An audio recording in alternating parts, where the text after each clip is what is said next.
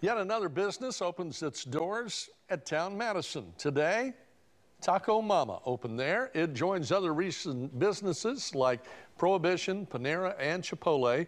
The Starbucks, Panda Express, and Kavar are also slated to open soon, or Cava, I should say. The long-awaited shopping center next to Toyota Field is a big deal for people in that part of Madison.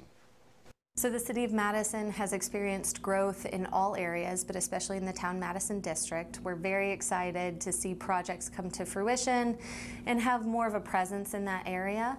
And the city says it will be making some additional announcements about Town Madison in the upcoming State of the City address. That will be given Friday at Toyota Field, and you can find details for that on our website, WHNT.com.